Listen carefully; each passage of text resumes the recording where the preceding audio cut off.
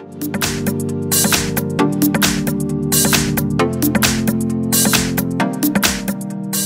I've got Huawei Honor V20 and let me show you how to enable eye comfort mode on the following device. So at first you have to find and select the settings, then scroll down and pick display and now under sleep you will notice eye comfort so simply tap on it and now you can activate it manually by tapping on the switcher and from now on it's active as you can see you can change the temperature so you can pick some warmer or cooler colors. So it's up to you. And this mode as you can see here the notification will filter out the blue light to relieve visual fatigue. Then you can also schedule this mode. So just click on scheduled and now you can pick the start time and also the end time. So let me pick for example let's start with this one.